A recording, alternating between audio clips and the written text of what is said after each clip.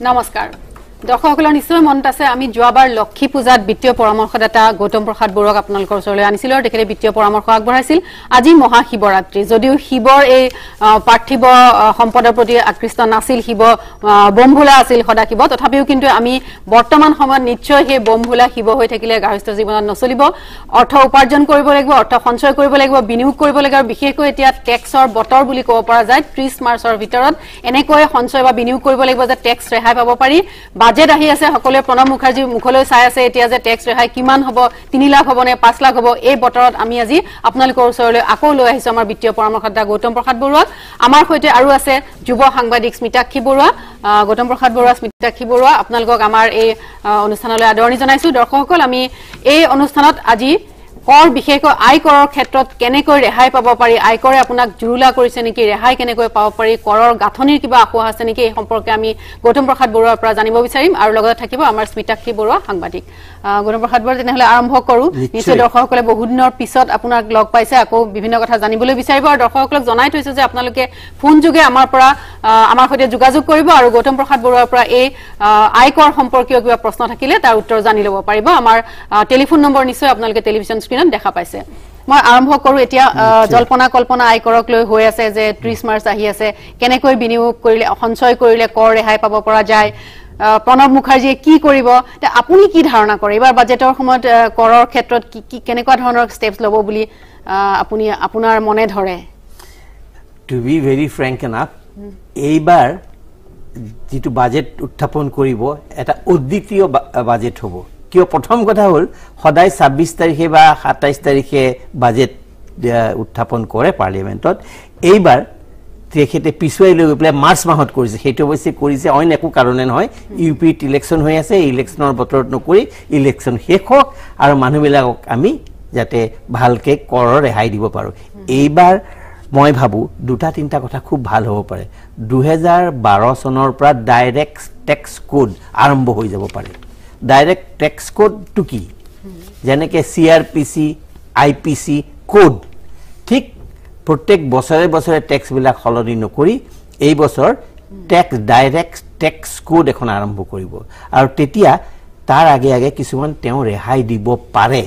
আমি মইতো আৰু ফাইনেন্স মিনিষ্টাৰ নহয় গতিকে সেইটো মই ক'ব নোৱাৰিম। কিন্তু এইবাৰত মই আশা কৰোঁ তেখেতৰ কথা বাৰ্তা লিখা উচ্চাৰণ এইবিলাক অনুধাৱন কৰি যে এই বছৰ যিখিনি মানুহে বছৰে তিন লাখ টকালৈকে চেলেৰি পায় বা আয় কৰে তেওঁলোক সম্পূৰ্ণভাৱে টেক্স মুক্ত আয়কৰ মুক্ত হ'ব। হ'ব বুলি আশা কৰোঁ অৰ্থাৎ যিবিলাক মানুহে পঁচিছ হাজাৰ টকালৈকে মাহে দৰমহা পায় সেই মানুহখিনিয়ে মনত কৰৰ মানে যন্ত্ৰণা ল'ব নালাগে। কৰৰ। যন্ত্ৰণা কওঁতে মই স্মিতাক্ষী ওচৰলৈ আহিছো যে আমাৰ ইয়াত কৰটো বাৰ্ডেন বুলি ভবা হয় এতিয়া এনেকুৱা নেকি কাৰণটো যে আমাৰ কৰৰ টেক্সটো বেছি কাৰণে যে মানুহে ফাঁকি দিব বিচাৰে। টেক্স ইভেশ্যনৰ কাৰণে যিটো মানে বেছি বাৰ্ডেন ফিল কৰে এনেকুৱা হয় নেকি যে অলপ যদি টেক্সটো কমাই দিয়া হয় উপাৰ্জনৰ যিটো আমি যিটো আশা কৰি আছো সেইটো কমাই নিদিয়াৰ কাৰণে বেছি দিব লগা হয় কাৰণে মানুহে ফাঁকি দিয়ে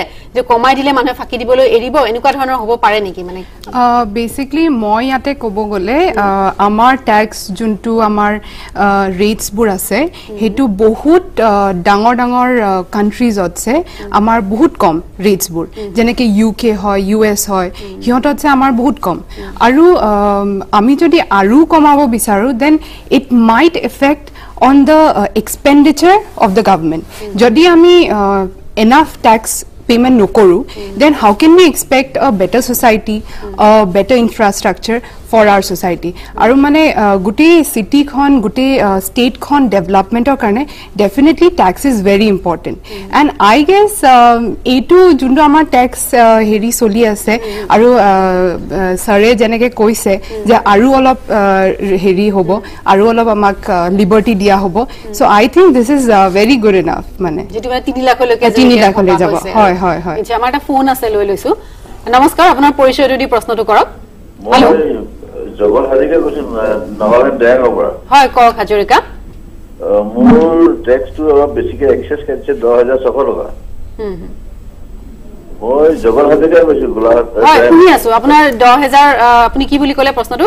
টেন থাউজেণ্ড ছিক্স হাণ্ড্ৰেড মোৰ এক্সেছ কাটিছে এইটো ৰিটাৰ্ণ কেনেকে পোৱা যাব এতিয়া? শইকীয়া মই বোধ হয় আপোনাক যদি বুজি পাইছো আপুনি টেক্স দিছিল আৰু আপুনি এক্সেছ টেক্স দিছিল। আপুনি যদি ৰিটাৰ্ণ দিছে এই- বছৰত এই বছৰতো আপুনি এতিয়ালৈকে ৰিটাৰ্ণ দিবই হোৱা নাই কাৰণ মাৰ্চ মাহ শেষেই হোৱা নাই। মাৰ্চ মাহ শেষ নোহোৱাকৈ এই বছৰ ৰিটাৰ্ণ দিয়ে কেনেকৈ আপুনি? হা গতিকে এটা কাম কৰিব আপুনি যদি ইতিমধ্যে জানে যে আপুনি হয়। এক্সেছ টেক্স দিছে তেতিয়াহ'লে আপুনি যেতিয়া ৰিটাৰ্ণ দিব সেইখন ৰিফাণ্ডৰ কাৰণে ক্লেইম কৰিব। তাত অলৰেডি প্ৰভিজন আছে। গতিকে আপোনাৰ কোনো চিন্তা কৰিবলগীয়া নাই। আপুনি এজন ইনকাম টেক্স কনচালটেণ্টৰ ওচৰলৈ যাওক নহ'লে চাৰ্টাৰ্ড একাউণ্টেণ্ট এজনক দেখা কৰক দেখি পেলাই তেওঁৰ দ্বাৰা ফৰ্ম ফিল আপ কৰক। আৰু এই ফৰ্ম ফিল আপত লিখা থাকিব যে কিমান টকা আপুনি দিব লাগে আৰু কিমান টকা আপুনি দিলে। আপুনি এই গতিকে ৰিফাণ্ড কিমান পাব সেইটো দিলেই আপোনাক অন্তত ছমাহ আঠ মাহৰ মূৰত জনাই দিব। এখন চেক আপোনাৰ একাউণ্টত নিজে নিজে জমা হ'ব। আজিকালি নতুন নিয়ম হৈছে। আপোনালৈ চেক নপঠিয়াই আপোনাৰ তাত পেন কাৰ্ড নম্বৰ দিব। আৰু আপোনাৰ বেংকৰ একাউণ্টৰ নম্বৰ দিব আৰু তাৰ লগে লগে আপোনাৰ সেই ৰিফাণ্ডটো অট'মেটিকেলি এপ্ৰিল মাহৰ পিছত আপুনি এইখন দাখিল কৰিলে অহা মাৰ্চ মাহৰ ভিতৰত আপুনি তাৰ পৰা ৰিফাণ্ড পাই যাব আপুনি নিশ্চয়। নিশ্চয় আপোনাৰ উত্তৰটোৱে আপোনাক উপকৃত কৰিছে। তেখেতক দিয়া উত্তৰটো প্ৰসংগত মই ক'বলৈ বিচাৰোঁ। আপুনি যিটো পৰামৰ্শ দিলে তেখেতক যে আপুনি এজন টেক্স কনচালটেণ্টৰ ওচৰলৈ যাওক চাৰ্টাৰ্ড একাউণ্টেণ্টৰ ওচৰলৈ যাওক এইখিনিতে কিন্তু এটা প্ৰশ্ন হয়। সাধাৰণ মানুহে এই কৰ জমা দিয়া প্ৰক্ৰিয়াটো খুব জটিল বুলি ভাবে যে এইটো কাৰণে এজন চাৰ্টাৰ্ড একাউণ্টেণ্ট লাগিবই এজন টেক্স কনচালটেণ্ট লাগিবই তেওঁলোকৰ ওচৰত যাব লাগিব নিজে কৰিব পৰা কাম নহয় এনেকে ধৰণে এটা ধাৰণা আছে। সেই ধাৰণাটো কিমান দূৰ সঁচা? সেই পৰিস্থিতিটো এতিয়া সলনি সৰলীকৰণটো আচলতে হৈছেনে আপুনি ভাবেনে? এই ধাৰণাটো সঁচা যে এনেকুৱা মানুহৰ মনত আহে। মানুহৰ মনত মানুহে ভাবে যে এইটো বৰ ভয় লগা কথা টেক্স দিয়া মানে একদম গাটো ৰাইজাই কৰি যায়। কিন্তু আচলতে লাহে লাহে আজিকালি টেক্স দিয়া প্ৰথাটো বহুত চিম্পলিফাইড সৰলীকৰণ কৰি আহিছে। আৰু কৰিবলগীয়া হ'ব। তথাপি আজিকালি কিছুমান নিয়ম কৰিছে। আমাৰ ফৰ্মখনৰ নামেই হ'ল Saral S A R A L Saral. Saral বুলি দিয়ে।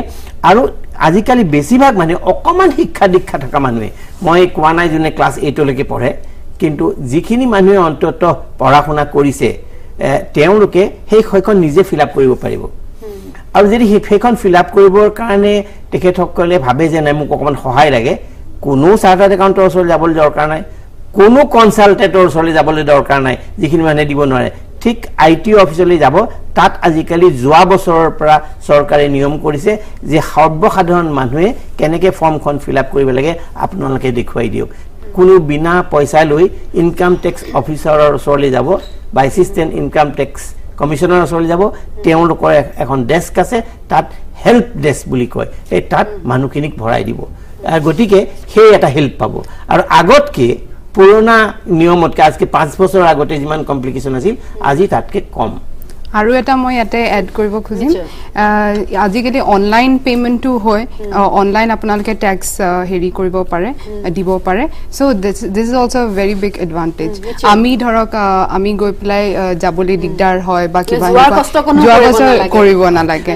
আমি অনলাইন টেক্স পে'মেণ্ট কৰিব সুন্দৰ এটা কথা কৈছে। এই এই- কথাটো প্ৰযোজ্য যিখিনি মানুহে কম্পিউটাৰ জানে। কিন্তু আমি সৰ্বসাধাৰণৰ কথা হ'লে ইটো কৰিব লাগিব। আৰু ইয়াৰ এইখিনি সময়তে এটা বৰ সুন্দৰ প্ৰশ্ন আহিছে যেতিয়া মই কৈ দিওঁ। কোনো মানুহে যাতে ইনকাম টেক্স ৰিটাৰ্ণ দিওঁতে পেন কাৰ্ডৰ নম্বৰটো দিবলৈ নাপাহৰে এক। বা ভুলকেই নিদিয়ে খৰখেদাকে লিখি। কাৰণ ইনকাম টেক্সৰ প্ৰভিজন মতে যদি ইনকাম টেক্সৰ পেন ইনকাম টেক্স ৰিটাৰ্ণত যদি পেন নাম্বাৰটো ভুলকে দিয়ে বা নিদিয়ে তেওঁক দহ হাজাৰ টকালৈকে জৰিমনা কৰিব নিশ্চয় এটা খুব গুৰুত্বপূৰ্ণ কথা কৈছে মনত ৰাখিব নিশ্চয় পেন কাৰ্ডটো ভুলকৈ নিদিব নিদিয়াকৈ নাথাকিব আৰু ভুলকৈ দিলে দহ হেজাৰ পৰ্যন্ত জৰিমনা হ'ব পাৰে। এটা ফোন আছে লৈ লৈছো।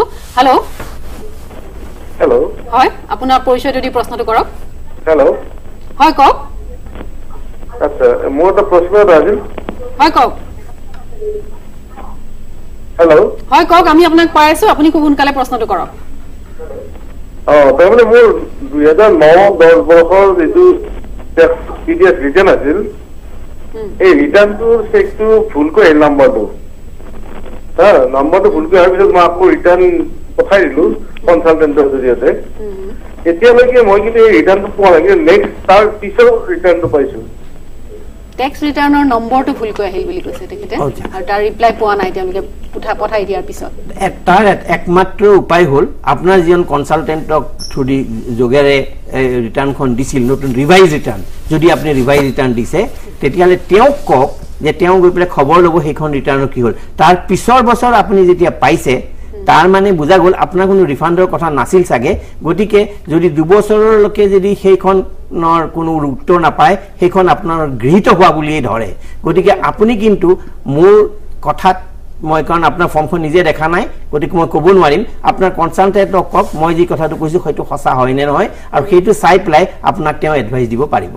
নিশ্চয় আপুনি এই পৰামৰ্শ মতে কৰিলে উপকৃত হ'ব। আমাৰ আৰু বহুত প্ৰশ্ন নিশ্চয় দৰ্শকৰো আছে আৰু আমাৰো বহুত কথা পাতিবলৈ আছে কিন্তু আমাৰ বিৰতিৰ সময় হৈছে এইখিনিতে লৈ লৈছো এটা বাণিজ্যিক বিৰতি আহি আছো।